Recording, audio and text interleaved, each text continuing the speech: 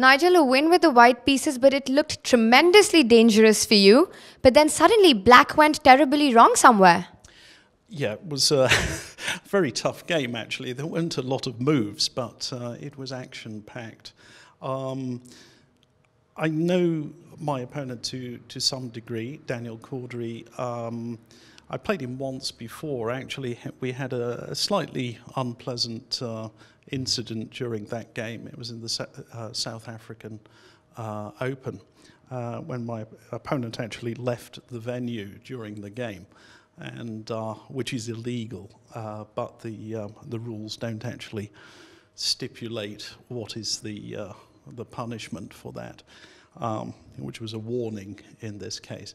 So um, we'd had this sort of history, so there was a little bit of tension to, to this game, and uh, it was a very, very sharp game. Uh, I mean, I played in a sharp way in the opening, just h4, h5, just almost immediately.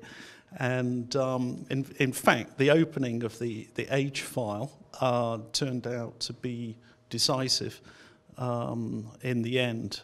Um, but there was some point in the middle game, I just thought I was going to get mated, but uh, the key variation, which is what happened, just seemed to work for me. I mean, it's sort of by a miracle that uh, uh, my bishop comes back and defends on the long diagonal. It's actually very easy to, to miss these backwards uh, captures on the, on the diagonal.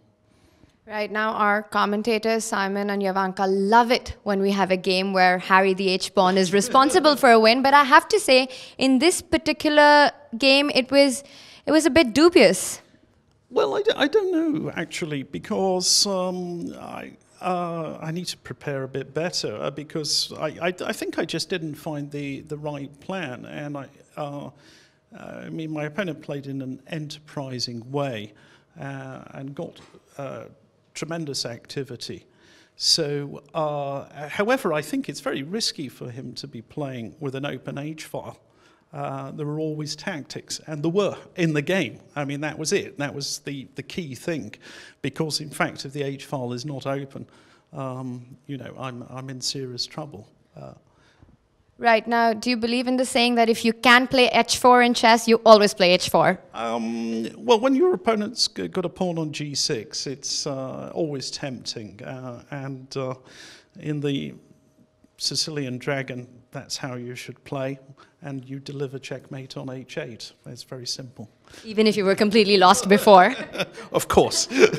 right, now you were mentioning that there's a bit of history and slight unpleasantness that happened the last time you played your opponent from today. How is that? What is? Does that affect you before the game? Is that something you think about? How does that affect you? Um, it was quite disturbing actually. So uh, I decided to vary my routine today. I mean, normally I would start. I would have my breakfast and then I go back and start preparing. Uh, but I just wanted to have a clear head for today more than anything else. So I took a walk into town.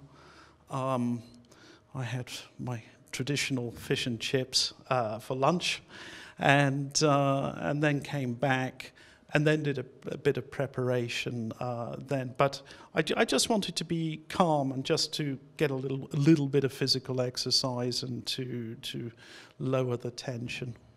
Were there handshakes at the beginning? Oh, oh sure, sure. Sure. I mean, it was absolutely fine, but it just, you know, um, the the point was uh, was not uh, from the uh, the previous game whether my opponent is cheating. It's just illegal to leave the the venue.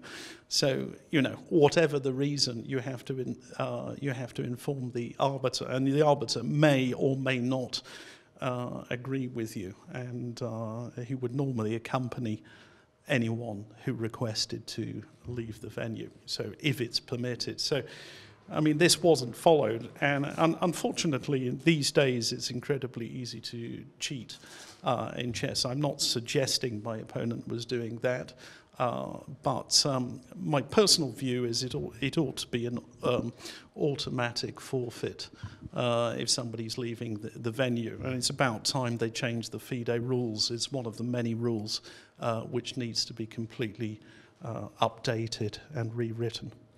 Right now, um, are you happy with the way things have been going so far in this tournament for you, with your quality of play? Um, look, um, I think th three out of four is is okay. I think it's a fair reflection of how I've played. Uh, not too badly, not too well. So, so something in, in, between. And um, yeah, uh, I'm, I'm, I'm, not that uh, uh, concerned. I, I still think there's a lot of time. And the, the, the crunch point tends to come a little bit later uh, in the event. Um, if you manage to win a couple of games consecutively at some key moment, you can suddenly be in a very strong position. So I just want to get poised. Right, well, we love any game where Harry the H pawn starts off early. So thanks for giving us that, and we wish you good luck for the remaining rounds. Uh, thanks, Daniel.